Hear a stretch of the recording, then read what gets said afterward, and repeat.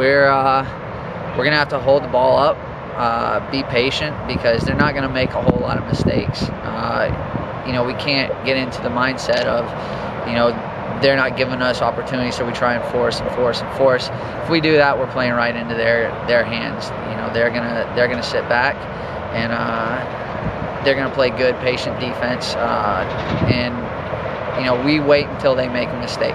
We keep the ball until we break down uh, the defenders, and then, you know, when we find those openings, we've we've got to take advantage Uh, of. I know they have a few players that play MLS, uh, but we do too. I think there's a couple of guys in our team that played the MLS before, even uh, World Cup, you know, qualification, and I think we got the skills to break them down. I think we just gotta possess the ball, play hard on the ground, and I think we'll be able to, to break the Yeah, well, line. You know, I had the opportunity to play with Pablo last year in Carolina, so I, I know him very well. He's a good friend of mine.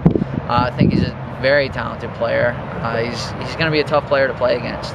Uh, the good thing I think is that he's not an unknown. We're going to go into the game knowing what he does well, knowing what he doesn't quite do well. Uh, I think Campos is a great player. Uh, he's going to play up front, I think, this year.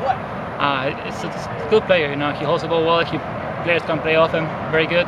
But I think uh, with the experience that Martin is bringing to the team, and with Willie being very good in the air as well, I think we uh, we're going to be able to to shut him down, and hopefully he won't be able to receive the ball as clear as he as he used in Carolina. You know, the the San Antonio team isn't coming with a full rookie squad. Most of the guys on their team have MLS, have USL, NASL, uh, other uh, other league experience.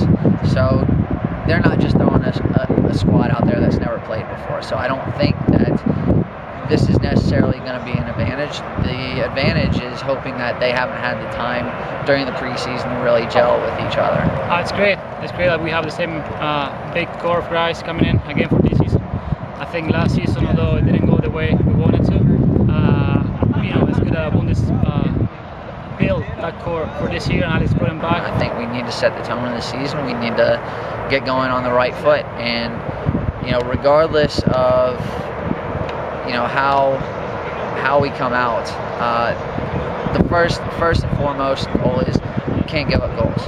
You can't lose games if you don't give goals up, and so that's that's got to be our number one priority. Oh, three, three points is gonna be huge this uh, this Saturday. Uh, we play home uh, against the home fans, so so it's gonna be a three pointer. Uh, we can we can take uh, losses or uh, ties at home.